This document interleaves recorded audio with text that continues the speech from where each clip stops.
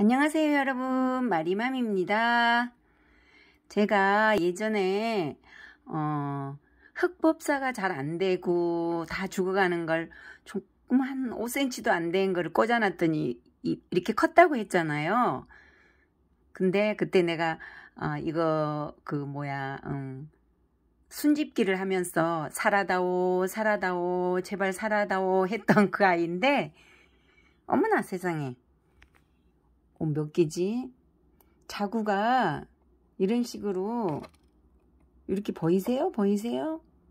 어머나 다섯 개가 나왔어요. 그 쪼꼬미 잎사귀에서 신기방기 그리고 그 옆에 더 작은 애 여기 사이로 보이시죠? 건들기가 무서워요 지금 그 아이도 여기 여기 오 거기도 우회를 딱 꼬집게 해놨는데 아우 이 가리지 좀마.